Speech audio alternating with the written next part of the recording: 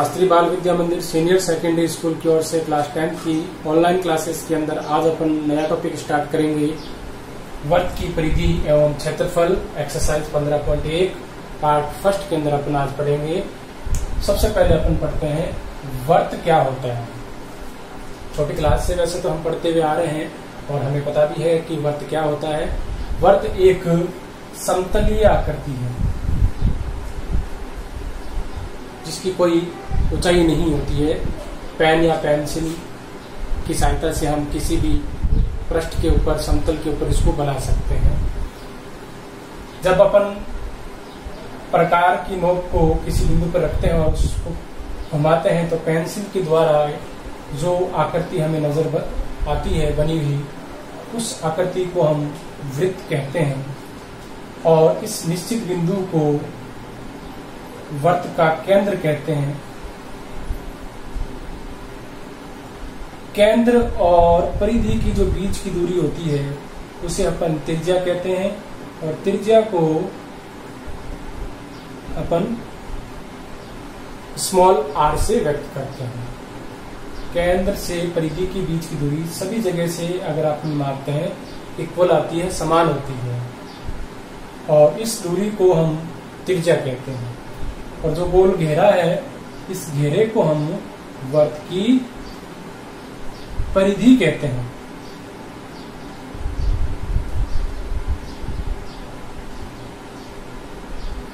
और वर्त की परिधि पर अगर हम कोई दो बिंदु लेते हैं, और उनको मिलाने वाला रेखाखंड अगर केंद्र से होकर गुजरे तो ये जो दूरी होती है, इसको अपन वर्त का व्यास कहते हैं। और अगर ये वर्त के केंद्र से ना गुजरे तो इसे अपन कहते हैं जीवा। तो हमें अच्छी तरीके से पता होना चाहिए कि त्रिज्या क्या होती है, किससे व्यक्त करते हैं, व्यास क्या होता है, जीवा क्या होती है वर्त की विधि क्या होती है।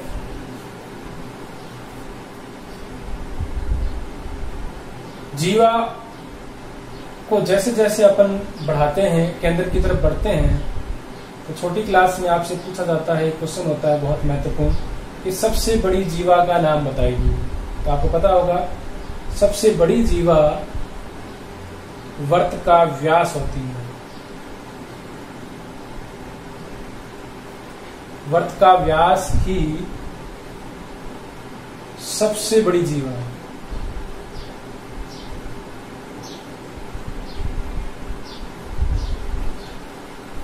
जैसे जैसे जीवा की लंबाई बढ़ती है तो सबसे बड़ी जीवा वही होती है जो केंद्र से होकर गुजरती है। और हमें यह भी पता है जो केंद्र से होकर गुजरती है और जिसके दोनों बिंदु वर्त की परिधि पर स्थित होते हैं तो हम उसे व्यास कहते हैं। और वर्त की सबसे बड़ी जीवा, अगर आपसे पूछा जाए तो आप बताएँगे वर्त की सबसे बड़ी जीवा वर्त का व्यास।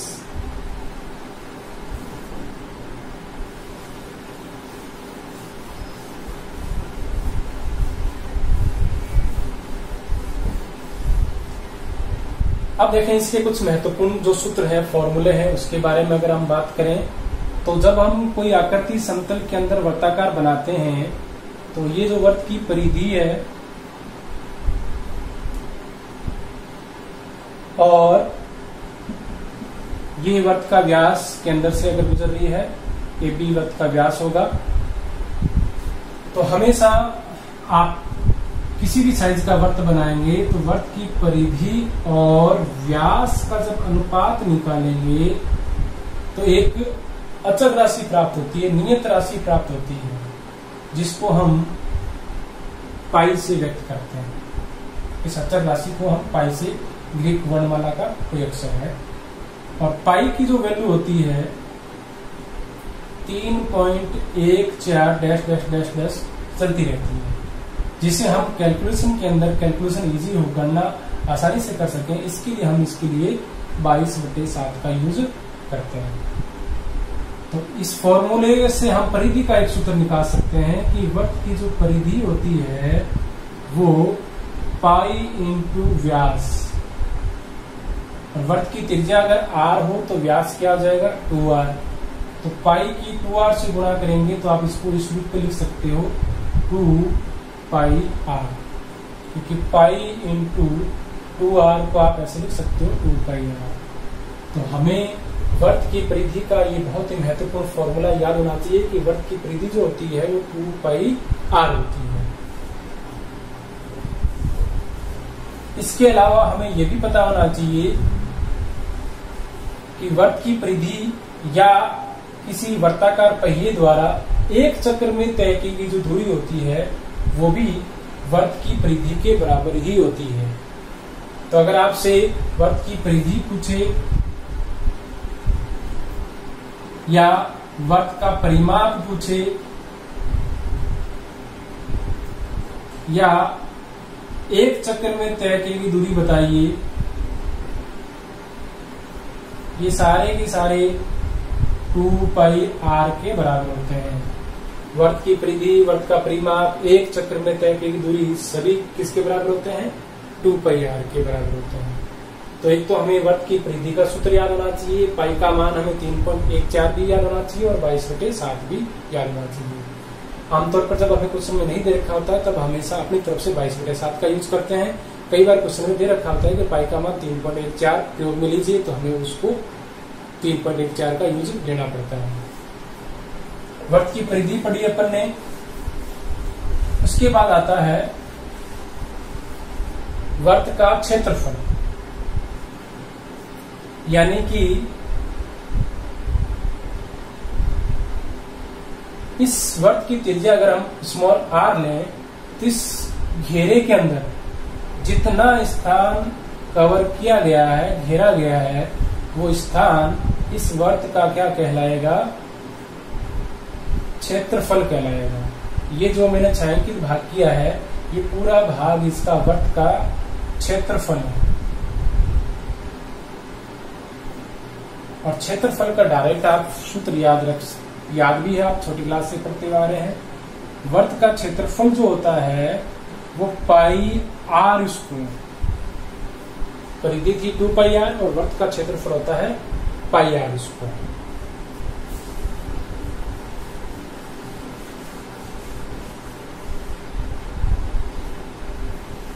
जब वर्त का क्षेत्रफल पाई आर स्क्वायर होता है तो अर्धवर्त का क्षेत्रफल। और अर्धवर्त हमें पता है, जब किसी वर्त के अंदर कोई व्यास खींचते हैं तो वर्त दो बराबर भागों में विभाजित होता है। तो उसको अपन कहते हैं आधा वर्त यानी अर्धवर्त। तो पूरे वर्त का क्षेत्रफल पाई आर स्क्वायर होता है। तो किसी का आधा कैसे करते हैं? दो का भाग लगा देते हैं। तो अर्धवर्त का क्षेत्रफल हो जाएगा। अर्धवर्त का क्षेत्रफल एक बट्टे दो पाई आर स्क्वायर। और अगर इसके चार बराबर हिस्से करें, दो लंबवत व्यास खींचें तो वर्त चार बराबर भागों में विभाजित होगा। इसको अपन कहते हैं चतुर्थांश। इसके क्वेश्चन हम करेंगे 15.2 एक्सरसाइज में। अभी अपन इसके बारे में पढ़ रहे हैं, इसलिए अपने चतुर्थांश भी पढ़ लिया। क्योंकि ये पूरे भाग का चौथाई अंश है, इसलिए अपन एक भाग को इसमें चतुर्थांश कहते हैं। और चतुर्थांश के अंदर त्रिज्याओं के बीच का कोण हमेशा 90 डिग्री होता है। तो अगर आपसे ये पूछे कि चतुर्थांश का क्षेत्रफल क्या होता है तो चतुर्थांश का जो क्षेत्रफल होता है, एक बट्टे चार वर्त के अंदर चार का भाग लगा दो, या एक बटे चार पाई आर स्क्वायर।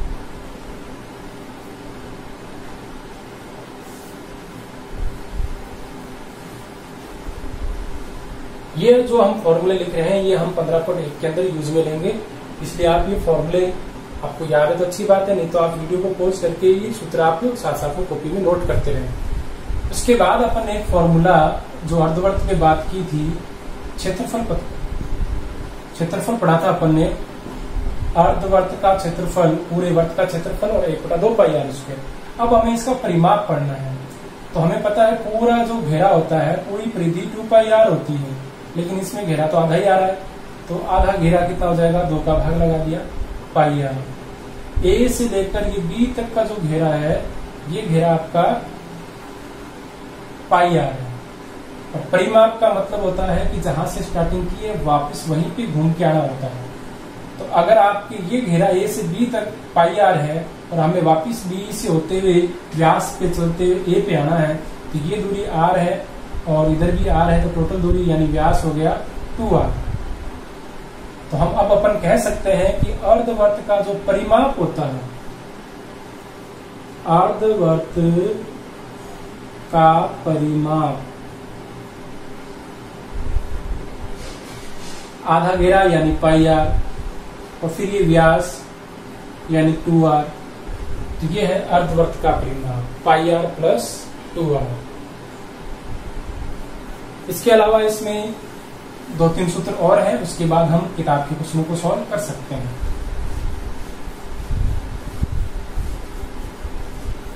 एक सूत्र है आपका एक ही केंद्र से जब अपन दो अलग अलग वर्त बनाते हैं त्रिज्या के तो ये इस वर्कों को कहते हैं सकेंद्रीय। एक ही केंद्र से बनने वाले वर्त को अपन कहते हैं सकेंद्रीय वर्त।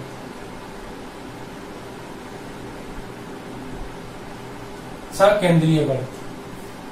तो क्वेश्चन इसमें जो आता है, वो इस तरीके से आता है कि आपको दो वर्तों की त्रिज्या दे रखी होती है और क्षेत्रफल आपसे ये पूछा जाता है। दो वर्तों के बीच वाले। जिसे अपन दो वर्तों से परिबद्ध भाग भी कहते हैं।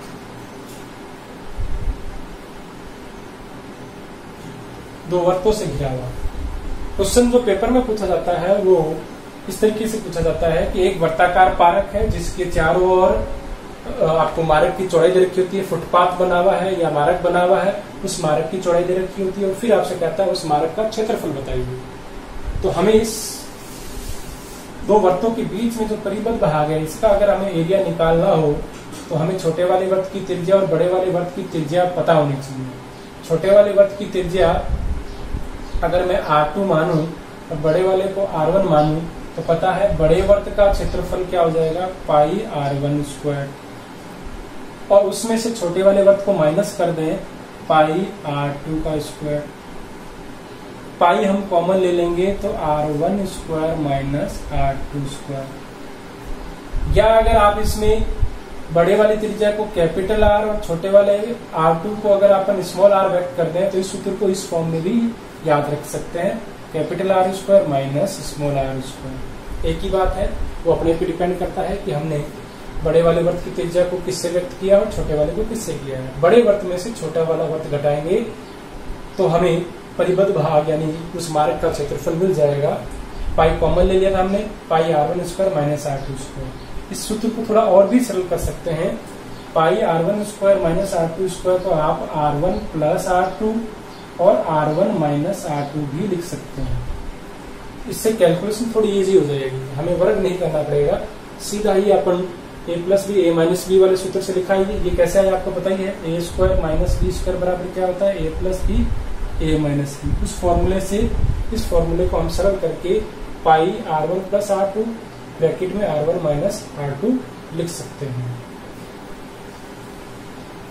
तो इस प्रश्नावली के जो फॉर्मूले हम यूज़ में लेंगे वो हम पढ़ चुके हैं।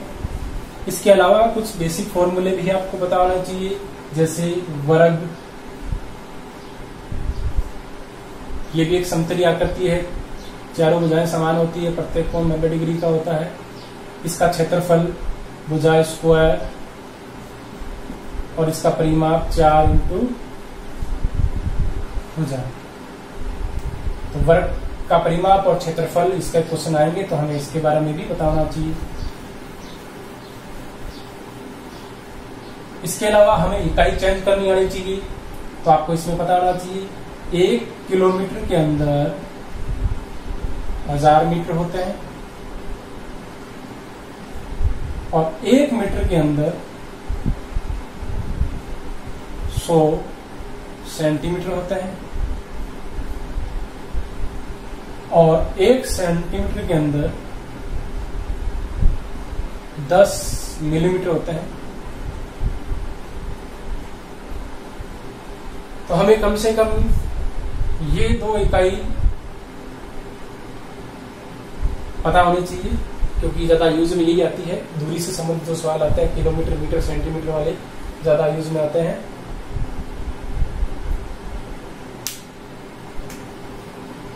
हमेशा आपको ये रिलेशन अगर याद रहेगा तो आपको ये भी पता होना चाहिए कि किलोमीटर को मीटर में बदलने के लिए क्या करेंगे। जब भी अपन बड़ी इकाई से छोटी इकाई में कन्वर्ट करते हैं, बड़ी इकाई से छोटी इकाई तो अगर आपको रिलेशन पता है कि एक किलोमीटर में हज़ार मीटर होते हैं तो आपको बड़ी इकाई को छोटी इकाई में कन्वर्ट करने के लिए अगर हम किलोमीटर से मीटर में कन्वर्ट कर रहे हैं तो आप हज़ार की क्या करेंगे? गुणा।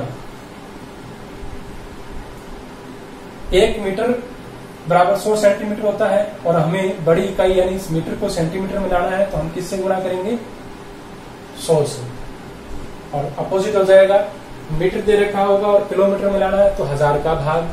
सेंटीमीटर देखा और मीटर में लाना है तो सौ का भाग। आप एक क्वेश्चन याद रख लें कि बड़ी इकाई को छोटी इकाई में करने के लिए गुणा करते हैं। और गुणा किससे करते हैं? वो रिलेशन अपन को पता होना चाहिए। जैसे एक घंटे के अंदर साठ मिनट होते हैं। तो अगर हमें बड़ी इकाई कौन सी है? ये वाली। घंटे वाली इकाई बड़ी होती है और मिनट वाली छोटी होती है। तो अगर हमें घंटे को मिनट में करना है कन्वर्ट करना है तो आप किससे गुणा करोगे? साठ से। और मिनट को घंटे में कन्वर्ट करना है तो साठ का भाग। तो कब गुणा करते हैं और कब भाग करते हैं, वो भी अच्छी तरीके से। और साथ में ये छोटी मोटी जो अपने इकाइयाँ जो होती है, उसमें जो रिलेशन होता है, संबंध जो आपस में होता है कि एक किलोमीटर में कितने मीटर होते हैं, एक मीटर में कितने सेंटीमीटर होते हैं, एक सेंटीमीटर में कितने मिलीमीटर होते हैं, ये अपन को पता होना चाहिए। तो इतना कुछ हम इसके बारे में पढ़ चुके हैं और अगर हमें ये समझ में आ चुका है और हमें ये सूत्र वगैरह इसकी याद है तो अब हम इसके पंद्रह पॉइंट एक की किताब के क्वेश्चनों को सॉल्व कर सकते हैं। देखें इसका क्वेश्चन नंबर फ़र्स्ट तो पंद्रह पॉइंट एक का क्वेश्चन नंबर फ़र्स्ट है। एक वर्त की त्रिज्या अगर तीन पॉइंट पाँच सेमी है तो वृत्त की परिधि और क्षेत्रफल याद कीजिए तो हमने लिखा वर्त की त्रिज्या तीन पॉइंट पाँच सेमी वर्त की परिधि का फॉर्मूला लगाया, टू पाई आर मान रखा, दो इंटू बाई का, पाई का मान पता है बाईस बटे सात, आर की जगह तीन पॉइंट पाँच, पॉइंट हटा के नीचे क्या लिया, दस। फिर इसी स्टेप को मैंने दोबारा लिखा, दो इंटू बाईस बटे सात, फिर पैंतीस बटे दस, सात से पैंतीस को काटा पाँच पाँच से दस को काटा दो, इस दो से इस दो को काट सकते हैं। तो केवल हमारे पास बाईस बच रहा है। इसकी इकाई, जो क्योंकि परिधि एक प्रकार की दूरी है तो जो त्रिज्या की इकाई होती है मीटर है तो मीटर सेंटीमीटर है तो सेंटीमीटर तो सेंटीमीटर था इसलिए इकाई आपकी सेंटीमीटर में ही आएगी। इसके साथ एक क्वेश्चन और है, वर्त का क्षेत्रफल, उसको देखिए। इसी के अंदर एक क्वेश्चन था कि वर्त का क्षेत्रफल ज्ञात कीजिए। तो वर्त की त्रिज्या तीन पॉइंट पाँच, वर्त का क्षेत्रफल वाला सूत्र लगाया, पाई आर स्क्वायर, पाई का मान बाईस बटे सात, आर की जगह तीन पॉइंट पाँच का स्क्वायर तीन पॉइंट पाँच का स्क्वायर का मतलब तीन पॉइंट पाँच इंटू तीन पॉइंट पाँच पॉइंट हटाया, नीचे आया दस, इधर भी हटाया दस। उसके बाद सात से पैंतीस को काटेंगे सात, पंजे पैंतीस। पाँच से दस को काटेंगे दो, इस दो से बाईस को काटेंगे तो यहाँ जाएँगे ग्यारह। अब ये दस भी कट रहा था, लेकिन मैंने नहीं काटा क्योंकि दस का भाग सरल होता है, एक संख्या बाद पॉइंट लेना होता है। इसलिए पैंतीस की ग्यारह से गुणा करेंगे तीन सौ पिचासी, ये बट्टे वाला दस वैसा का वैसा। एक ज़ीरो है तो एक संख्या बाद पॉइंट लगाएँगे तो हमारा आंसर आ जाएगा अड़तीस पॉइंट पाँच। इसमें इकाई ध्यान रखनी है, वर्ग सेमी या सेमी स्क्वायर। क्षेत्रफल किसी का ही हो, चाहे वो वर्त का हो, आयत का हो, वर्ग का हो, किसी भी आकृति का क्षेत्रफल हम निकाल रहे हैं तो हमेशा वर्ग सेमी या सेमी स्क्वायर मीटर है तो मीटर स्क्वायर या वर्ग मीटर इकाई ज़रूर लगाएँ। इसमें इकाई बहुत महत्वपूर्ण होती है। तो इस तरीके से हमारा ये फ़र्स्ट क्वेश्चन कंप्लीट होता है। देखें नेक्स्ट क्वेश्चन नेक्स्ट क्वेश्चन है, एक वर्त की परिधि 44 मीटर है तो वर्त का क्षेत्रफल ज्ञात कीजिए। सेकंड क्वेश्चन में हमें वर्त की परिधि दे रखी है 44 मीटर। परिधि का सूत्र होता है टू पाई आर बराबर में चौवालीस समय दे रखा है, इसके अंदर एक इक्वेशन बन गई है। पाई का मान बाईस बटे सात अब जिसको गुणधर्म पता होता है कि गुणा वाली संख्या को हम भाग में भेजते हैं, भाग वाली संख्या गुणा में भेजते हैं, उसके लिए इसको हल करना बहुत ईजी होता है। सात बटे में ये तो ऊपर गुणा में आ जाएगा, और दो और बाईस भाग में आएँगे। बाईस से चौवालीस को काटा, बाईस दूनी चौवालीस, या ग्यारह से काट दो, किसी भी पाड़े से काट दो। बाईस दूनी चौवालीस दो से दो भी कट गया तो केवल क्या बचा आपके पास? सात। इकाई आपकी परिधि में मीटर थी, इसलिए आर बराबर सात मीटर। तो वृत्त की त्रिज्या अपने पास सात मीटर है। अगर हमें आगे इसमें क्षेत्रफल ज्ञात करना है। तो आप सूत्र लगाएँगे वृत्त का क्षेत्रफल बराबर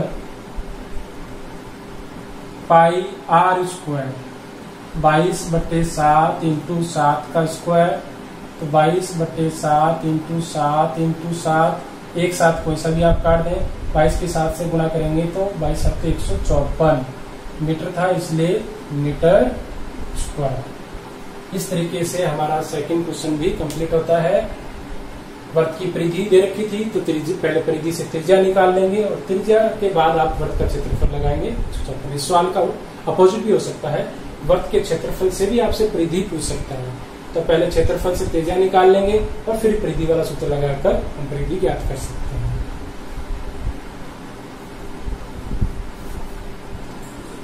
तीसरा क्वेश्चन है एक अर्धवर्ताकार प्लॉट की त्रिज्या 21 मीटर है। इसका क्षेत्रफल व परिमाप ज्ञात कीजिए। तो इस क्वेश्चन का हल हो जाएगा। त्रिज्या में दे रखी थी 21 मीटर। अर्धवर्ताकार प्लॉट, यानी जो अर्धवर्त का जो सूत्र है, वही आपको इसमें लगाना है। एक बटा दो पाई आर स्क्वायर। एक बटा दो पाई की जगह मान रखा अपन ने। बाईस बटे सात आर स्क्वायर, यानी इक्कीस इंटू इक्कीस। सात से इक्कीस को काटा तीन बार, दो से बाईस को काटा ग्यारह ग्यारह इंटू तीन इंटू इक्कीस की गुणा करेंगे तो छह सौ तिरानवे। इकाई लग जाएगी मीटर स्क्वायर। इसी के अंदर एक क्वेश्चन और था, परिमाप ज्ञात कीजिए तो अर्धवर्ताकार प्लॉट का परिमाप हमें पता है, pi R plus two R. बाईस बटे सात, आर की जगह इक्कीस, फिर प्लस में प्लस दो इंटू आर, यानी दो इंटू आर की जगह इक्कीस।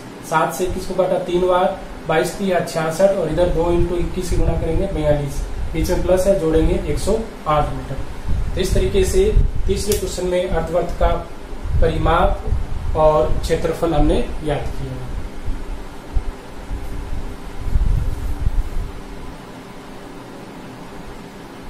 तो पार्ट फ़र्स्ट के अंदर हम इतना ही पढ़ेंगे पार्ट सेकंड के अंदर हम इसे आगे पढ़ेंगे।